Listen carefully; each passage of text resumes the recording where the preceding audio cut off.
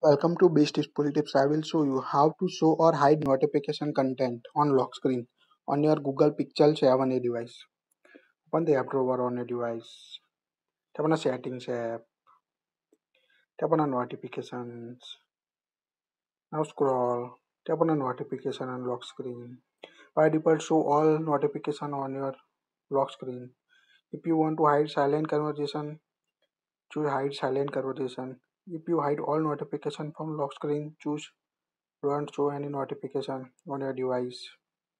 You can also hide, enable, disable, hide sensitive notification on lock screen. Scroll down. Here you can see hide silent notification in status bar and uh, enhance notification also. You can also change lock, lock screen notification by go to set display. Tap on a lock screen